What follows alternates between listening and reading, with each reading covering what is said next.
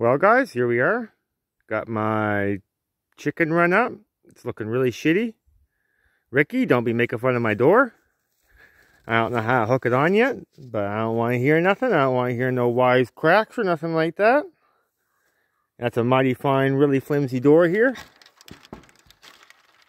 You can kind of even hear how flimsy it is. I just got it wedged in here right now. Poked myself. Ow. Anyway, yeah.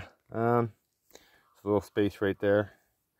But once I figure out how to hook her on, or I might make another door. I don't know.